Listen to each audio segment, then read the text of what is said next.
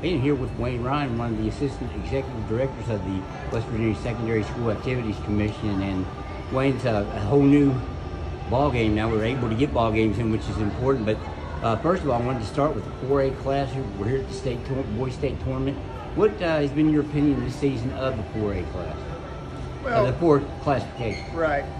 Well, first of all, it's a two-year trial. I I don't think we can judge anything based off of, of a tournament held during COVID because everything is different. So we'll have next year uh, to continue to evaluate, and our school membership will evaluate, and we'll reconvene a committee, and they'll report back. And but, but overall, we've, we've had a lot of positive response. Uh, I, I think you'll have to say the four classes has created good parity.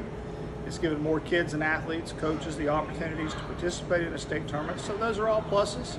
Uh, I'm sure there's some uh, some you know comments and, and, and opposite opinions, but we will take those all under consideration before we would move forward after the two-year trial period. When you see teams like Cameron, uh, Hampshire, I think making a first appearance, does that kind of make it worthwhile? What you guys were hoping for?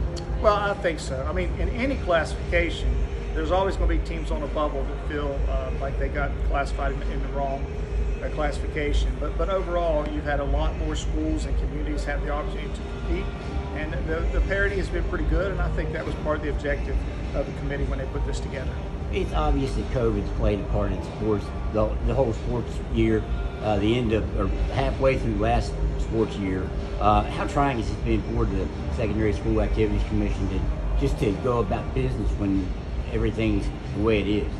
Well, I mean, it's certainly a bit difficult, and uh, you know, once you make one plan, uh, you often have to make plan two, plan three, plan four.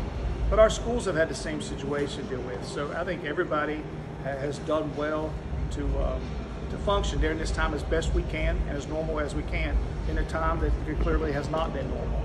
And we'll just hope we get vaccines in the arms, and that by next fall we're in a more normal situation.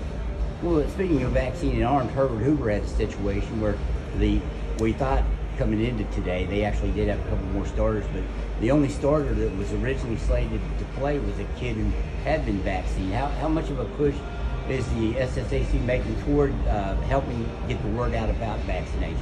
Well, we're making a pretty big push because, along with the State Department, uh, we're encouraging the vaccinations and the incentives for that. I mean, if, they're vaccinated, uh, students vaccinated, they're exposed in the classroom, they don't have to quarantine. We, know an example Herbert Hoover who got the vaccination. Could play on in this situation, so it's good for that young man.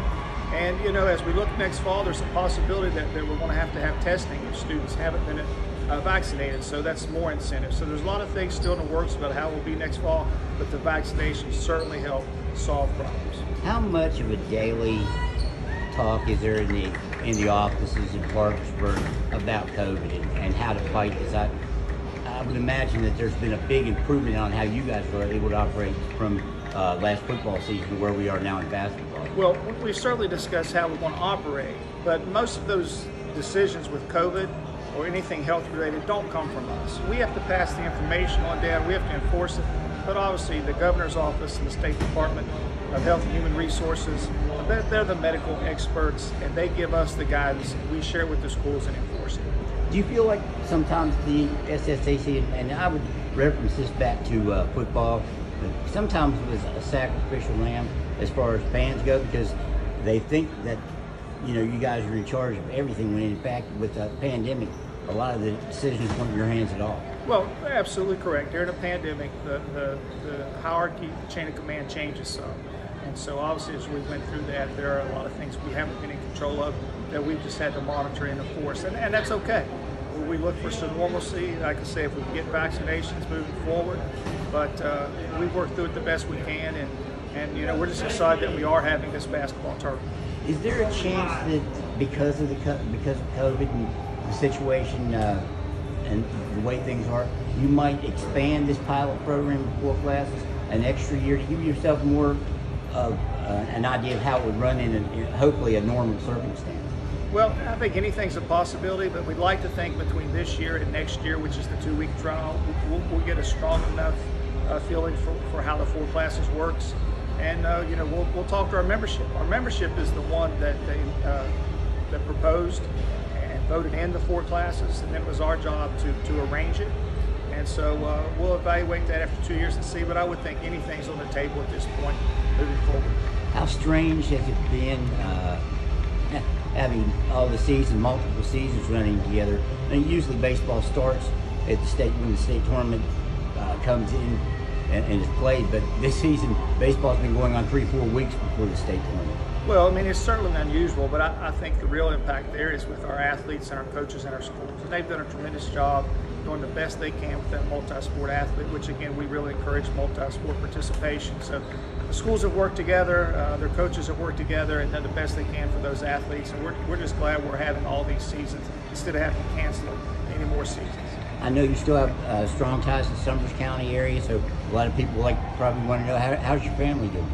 Well, we're, we're doing good. I mean, the last year has been interesting, I think, for every family. So uh, we've had things to deal with, just like every family has out there. But uh, but uh, I appreciate you asking, everybody's moving forward, doing okay. Uh, Matt, your daughter doing well. They are they are doing well. Yes. Hard to believe it's been so many years since. It, it time time does go fast. Yes. All right. Hey, hey uh, Wayne, I appreciate it, and uh, we'll be talking to you again soon. Absolutely. Thanks, Dave.